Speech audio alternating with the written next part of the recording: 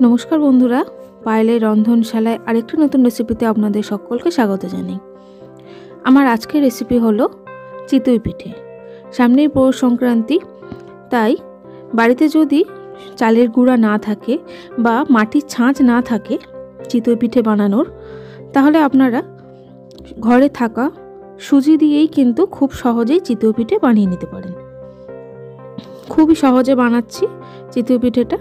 চলুন দেখে নেওয়া যাক রেসিপিটা আমি প্রথমে নিয়ে নিচ্ছি এক কাপ সুজি। এই এক কাপ সুজিটা আমি অল্প একটু জল দিয়ে ভিজিয়ে রাখব প্রায় আধ ঘণ্টা মতো। এই সুজির বাটিটায় আমি চাপা দিয়ে আমি আধ ঘণ্টা মতো রেস্টে রেখে দেব। আধ ঘণ্টা পর দেখুন, জলটা অনেকটাই শুকিয়ে গেছে। সুজি অনেকটাই জল টেনে নিয়ে অনেকটা ফুলে গেছে। এবার এই সুজিটা আমরা বেটে নেব। এই সুজিটা মিক্সার গ্রাইন্ডারের মধ্যে আমি ঢেলে দিলাম। দেওয়ার পরে অল্প একটু জল দিয়ে দিচ্ছি। জলটা কিন্তু কোনোভাবেই বেশি দেবেন না। জলটা এই সময় বেশি দিয়ে দিলে এই ব্যাটারটা যদি বেশি লিকুইড হয়ে যায়, তাহলে পিঠেটা ঠিকঠাক হবে না।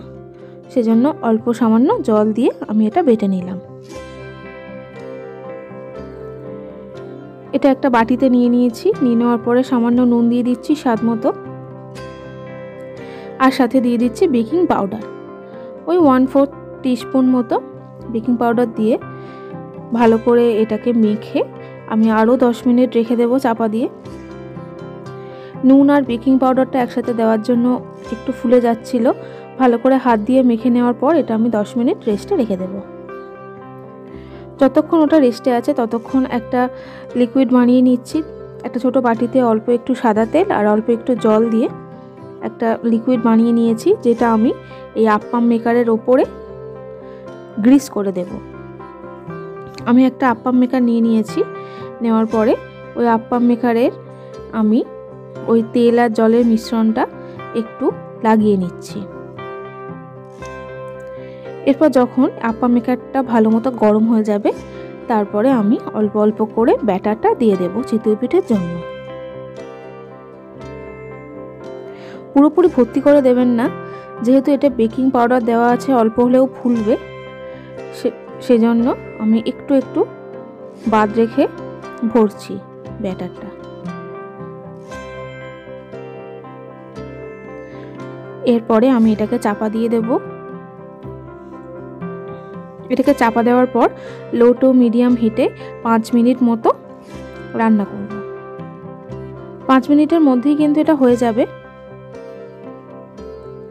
আর এটার পুরোটা হয়ে যাওয়ার পর সুন্দরভাবে চামচ দিয়ে তুললে উঠেও চলে আসবে। দেখুন কত সুন্দর হয়েছে। আমি প্রত্যেকটা পিঠে তুলে দেখিয়ে দিচ্ছি।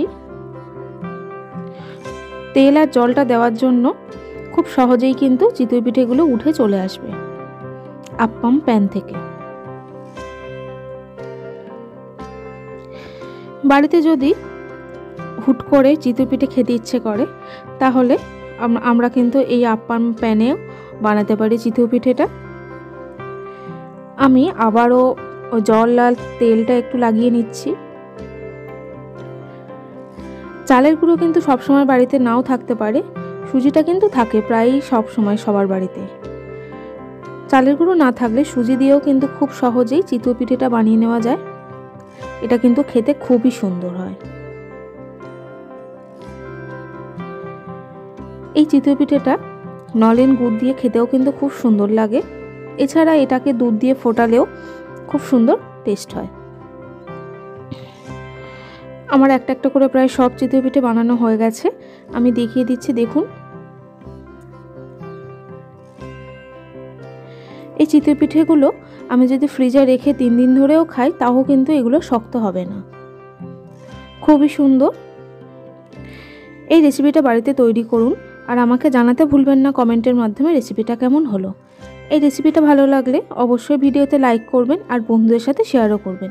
যারা আমার চ্যানেলকে এখনও সাবস্ক্রাইব করেননি, তারা আমার নিত্য নতুন রেসিপির আপডেট পেতে আমার চ্যানেলকে সাবস্ক্রাইব করার সাথে সাথে পাশে থাকা বেল আইকনটা প্রেস করতে একদম ভুলবেন না। সবাই সুস্থ থাকবেন, ভালো থাকবেন। পরে আরেকটা রেসিপি নিয়ে আপনাদের সাথে কথা হবে।